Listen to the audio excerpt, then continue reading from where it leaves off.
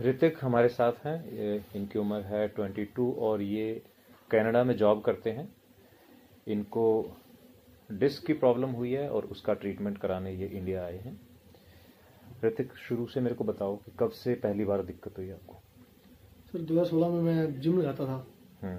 तो जो मेरा ट्रेनर था वो बेल्ट को मतलब वो नहीं करता कि बेल्ट डालो। हम्म। बोलता बिना बेल्ट के लगाओ तो लोअर बैक जो है वो ज़्यादा स्ट्रॉन्ग होगी। अच्छा वेट्स उठाते हुए belt heavy lifting like deadlift हो गए स्कोट्स हो गए। हाँ हाँ हाँ। तो वो मैं कर रहा था तो उस टाइम कोई पेन नहीं था दो तीन महीने सही सब चल रहा था। हम्म हम्म। एक सर मैंने लेग प्रेस लगाई।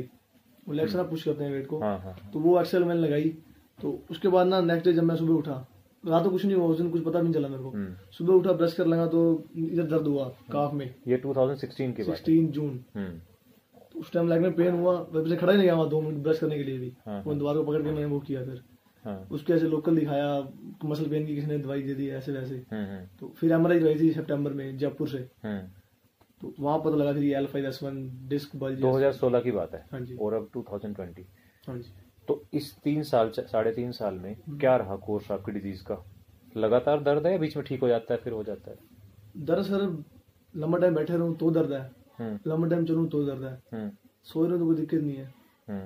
इंडिया में था तो मतलब इस टाइम पर होता रहता था। नहीं तीन साल में तकलीफ़ उतनी ही है हम्म। या बढ़ गई है? अब पिछले तीन चार महीने में राइट में थोड़ा वो जैसे इसमें साइड का था ना हाँ। लास्ट सीधी नहीं उठती थी हाँ। ये उठ जाती थी बिल्कुल सीधी। हाँ। अब ये भी वैसे हो गई है। साइटिक पेन है इसमें भी अब। चलना चाहो तो कितनी दूर चल लेते हो? एक बार में। एक किलोमीटर तो चल लेते एक किलोमीटर चल लेते हो? हम्म। पैर कभी सुन होता है। तो ये होता था शुरू शुरू में डेढ़ साल तो बहुत सुन हुआ है। हाँ। अब पता नहीं आदत हो गई या सुनना बंद हो गया। अब ये वाला होता है। आप कोई भी काम कर रहे हो उसमें कोई दिक्कत नहीं है आपको? खड़ा नहीं दिक्कत जैसे वहाँ जॉब थी अब। कितनी देर खड़े हो पाते हो? खड़ा हुआ तो सर आधा घंटा पैंतीस मिनट। उसके बाद? फिर लास्ट में दर्द होना शुरू हो जाता है नीचे। फिर धक्के से खड़ा रहूँगा हाँ। दर्द यहाँ तक आ जाएगा। फिर मतलब बैठना ही पड़ेगा एट लास्ट एक घंटे बाद तो। हम्म। तो वहाँ काम होता है तीन चार लगातार खड़ना ही पड़ता है। तो वहाँ बहुत दिक्कत थी काम करने में। फिर मैंने सीटिंग जॉब ली। हम्म, ऊपर चल रहा था पढ़ाई के साथ साथ पार्ट टाइम ऊपर ऊपर में बैठना होता था। हाँ हाँ। तो बैठने बाद भी मतलब आधे पौने घंटे बाद दर्द। मैं गाड़ी हाईवे पर रोक के लाइट आगे मैं खड़ा रहता था दो मिनट। लास्ट स्ट्रेच कर ली हाँ, फिर हाँ। थोड़ी सी चलाई फिर स्ट्रेच कर ली। ऐसे मतलब मुश्किल में ही काम किया सारा। हम्म।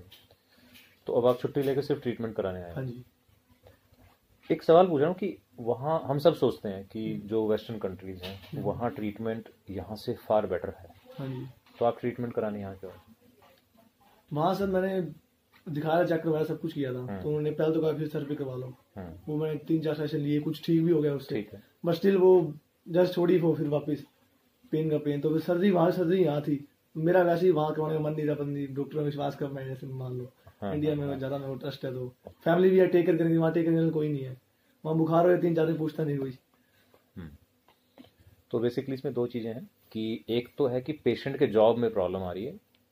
ऐसा नहीं है कि उनको कोई सीवियर पेन है या कोई ऐसे इंजेक्शन लेने की ज़रूरत है लेकिन एक यंग आदमी जो अपना काम कर रहा है अपना करियर बना रहा है उस फ़ेज़ में पेशेंट को इन लोगों को ज़्यादा काम करना पड़ता है। ट्वेंटी टू ट्वेंटी फाइव की एज में हम मैक्सिमम काम करते हैं इस्टेब्लिश होने के लिए, लेकिन वो काम नहीं कर पा रहे हैं। दूसरी चीज़ कि ये एक तरह से कॉम्प्लीमेंट है इंडियन मेडिकल फैसिलिटीज़ को कि लोग इतने जो एडवांस्ड कंट्रीज़ हैं, वहाँ रहते हैं, लेकिन ट्रीटमेंट हमारे यहाँ करा रहे हैं। ये बहुत अच्छी बात है।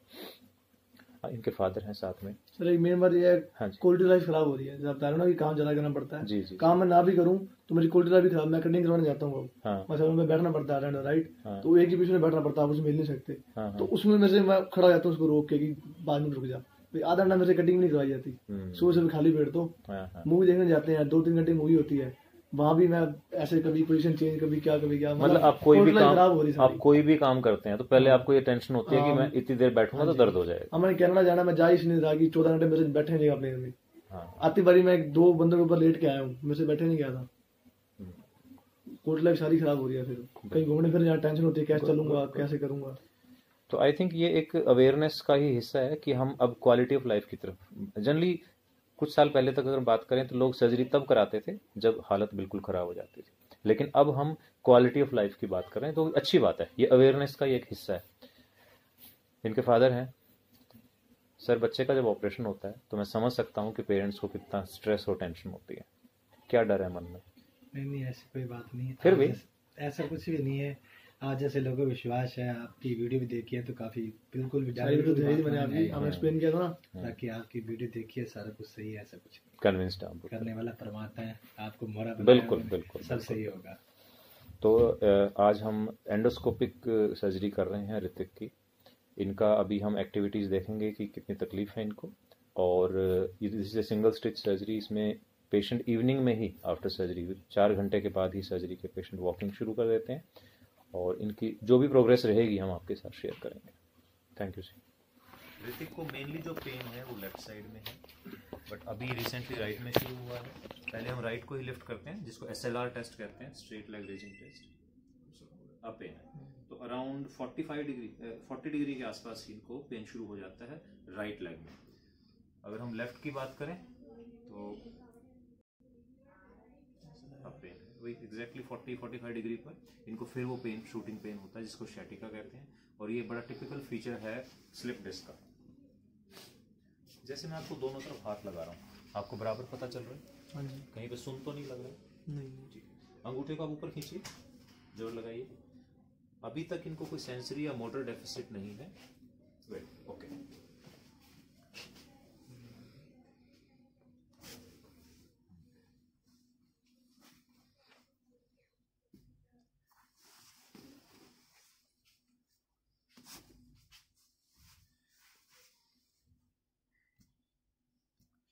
अभी तक कोई ऐसा डेफिसिट नहीं है। इनको कोई भी वीकनेस नहीं है या पैर सुन नहीं है।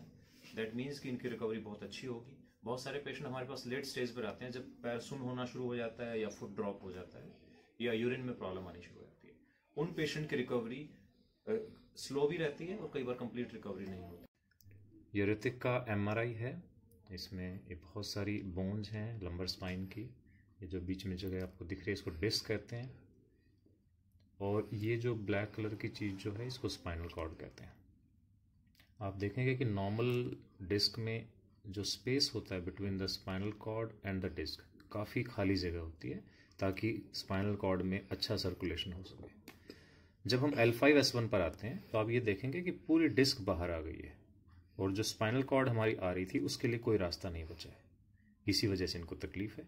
अब हम देखते हैं कि इनको दोनों लेग्स में पेन क्यों है। ये एक नॉर्मल डिस्क है एल फोर फाइव इसमें आप देखेंगे कि ये पूरी डिस्क है, ये एक्सियल सेक्शन में देख रहे हैं हम, और ये जो सर्कल है, ये स्पाइनल कॉर्ड है। तो आप देखेंगे काफ़ी बड़ा स्पेस है, ये वाइट स्पेस काफ़ी बड़ा दिख रहा है। अब हम आते हैं एल फाइव एस वन पर, जहाँ पेशेंट को प्रॉब्लम है। तो आप देखोगे जो वाइट सर्कल है, वो वाइट डॉट रह गया सिर्फ़, क्योंकि ये डिस्क पूरी बाहर आ गई है, और सर्कल को पूरा पुश कर दिया है तो स्पाइनल कॉर्ड के लिए कोई जगह ही नहीं बची है यहाँ पे। और वापस चलते हैं एल फोर फाइव तो आप देखेंगे कि राइट साइड में भी और लेफ़्ट साइड में भी रास्ता बना हुआ है, जिससे हमारी नर्व रूट्स जाती हैं। इधर राइट लेग में जाती है और ये लेफ़्ट लेग में जाती है। अब वापस आते हैं अल्फ़ा एस वन में। यहाँ आप देखेंगे कि राइट का रास्ता और लेफ़्ट का रास्ता दोनों बंद हो गए हैं, जिसको हम, जो रास्ता बनता है नर्व रूट के लिए, जो कैनाल होती है, दोनों ब्लॉक्ड है। इसलिए ऋतिक को दोनों लेग्स में पेन है।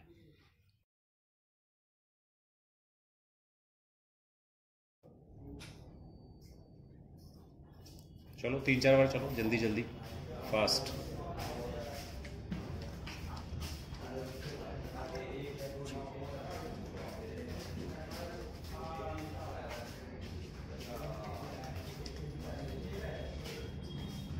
आओ आओ, एक बार फिर आओ।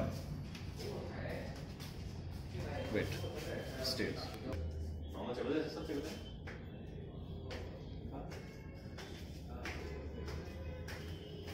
कोई परेशानी? आ जाओ।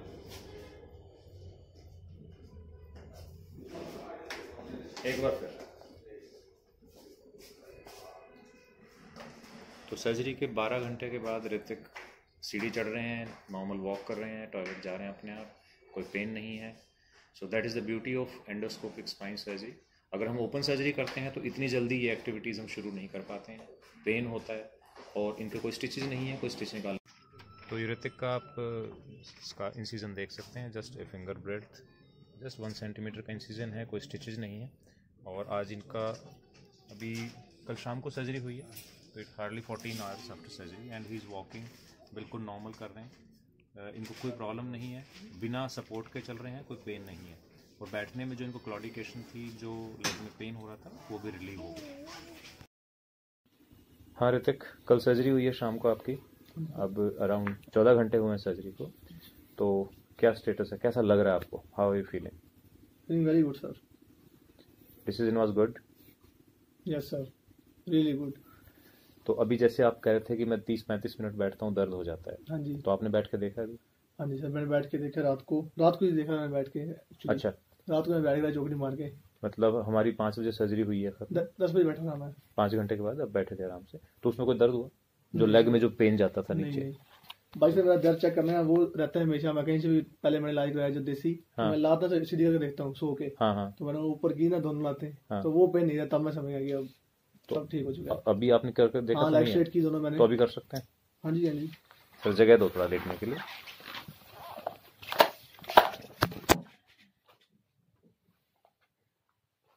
तो पेशेंट बेसिकली अपना एस टेस्ट खुद ही कर रहे हैं।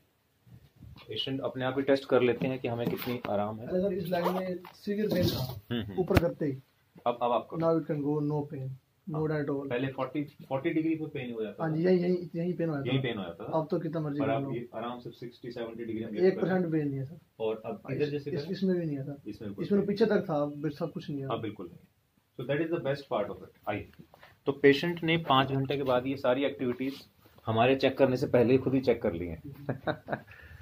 तो बैठो सर बैठो प्लीज़ तो इसमें सबसे बड़ी बात मेरे को ये लगी कि सर्जरी से पहले ही पेशेंट और फैमिली सर्जन से ज़्यादा कॉन्फिडेंट थे।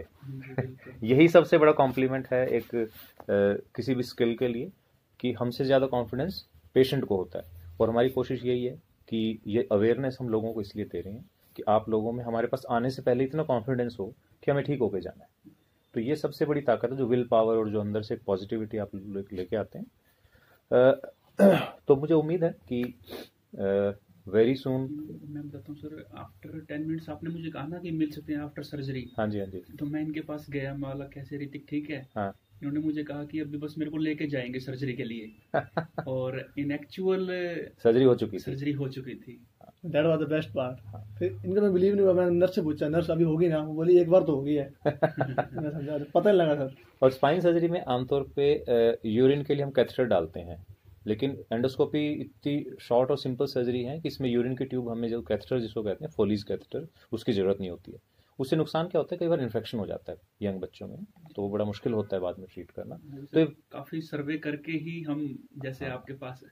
तो ये बहुत सारी एडवांटेज हैं। ऋतिक ने थोड़ी सी बात मुझे आज बताई कि इनको राइट लेग में थोड़ी सी नमनेस लग रही है आज तो मैं उसको एक्सप्लेन करना चाहता हूँ कि जब हम नर्व्स की हैंडलिंग करते हैं, अंदर डिस्क को निकालते हैं तो नर्व्स को साइड में हमें रिट्रैक्ट करना पड़ता है। उस रिट्रैक्शन में कई बार, क्योंकि नर्व्स बड़ी सेंसिटिव होती है, उसको अगर जरा सा भी हम टच करते हैं तो वो कुछ टाइम के लिए अपना फ़ंक्शन थोड़ा सा पाँच या दस परसेंट कम कर देती है। उसकी वजह से नमनेस रहती है, और मुझे उम्मीद है दो चार पाँच दिन में विद इन ए वीक ये नमनेस चली जाएगी। इनको यूरिन बिल्कुल ठीक आ रहा है उंगलियाँ बिल्कुल ठीक चल रही हैं he is able to walk climb stairs सब कुछ अच्छे से कर रहे हैं। तो जी आपके कॉन्फिडेंस के लिए थैंक यू वेरी मच आपने इतना विश्वास रखा और हमारी टीम उस विश्वास पे बराबर रही बिल्कुल। Thank you thank you thank you so much sir for this new life thank you